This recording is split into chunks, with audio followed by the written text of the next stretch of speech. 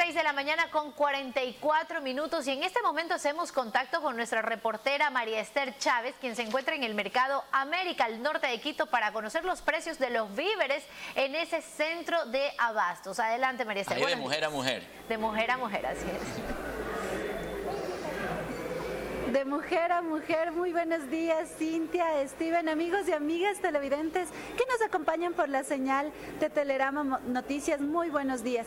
Así es, me encuentro en el mercado América ubicado aquí al norte de la capital, un lugar muy importante, un mercado bastante céntrico en el cual acuden bastantes personas a comprar en dicho lugar. Sin embargo, en esta ocasión vamos a conocer, se habla de cierta suba de precios en, en productos, en especial de aquellos productos provenientes de la costa, ya que el fenómeno del niño ha dejado ciertos estragos. Se habla de esta suba de precios, también se habla de escasez de ciertos productos. Entonces, vamos a conversar con una de nuestras caseritas que se encuentra aquí en el Mercado América. Cuéntenos cuál es su nombre. Eh, muy buenos días, mi nombre es Adriana Chugulí, eh, represento aquí el Mercado América. ¿Cómo le va Adriana? Cuéntenos, eh, se habla de esta posible alza de precios en ciertos productos, en especial de aquellos que vienen de la costa. ¿Cómo, cómo está el panorama aquí? Este, bueno, lo que se refiere a productos de la costa, eh, no todo el producto ha subido de precio. Eh, algunos se mantienen en su mismo precio, como es un ejemplo la yuca, se mantiene en el mismo precio. Pero nosotros este, aquí en el Mercado América seguimos laborando, eh, manteniendo, manteniendo los mismos precios de los productos que no ha habido alza. Entonces nosotros nos estamos manejando con el, con el mismo precio económico, tratando de nosotros también al a la gente, a los, señor, a los que a diario nos visitan, mantenernos en el mismo precio, ya que no podemos nosotros especular. ¿Cuál es el producto que ha subido así de, forma considerable el precio? Eh, el producto que más ha subido es la paiteña. Eso es lo que está un poco elevado el precio. ¿A cuánto costaba antes el quintal de la paiteña? El quintal de paiteña normalmente eh, hay de dos clases, la peruana y la, la, paiteña, la nuestra. La nuestra estaba en un valor de 36 dólares, la peruana 42.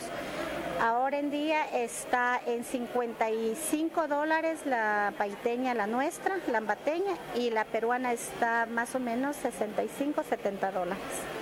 Y en cuanto a la escasez de dichos productos, porque no sé, se habla de escasez quizá en el plátano verde, en cosas que provienen de, la costa. ¿Hay dicha escasez o todo está normal por aquí, por el Mercado América?